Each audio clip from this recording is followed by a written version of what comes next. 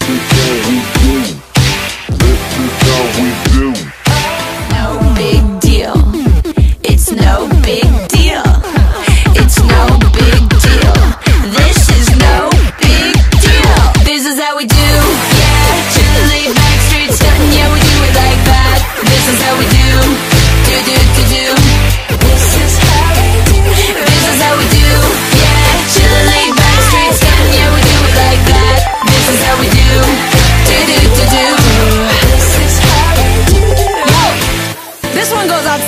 Ladies at breakfast in last night's dress.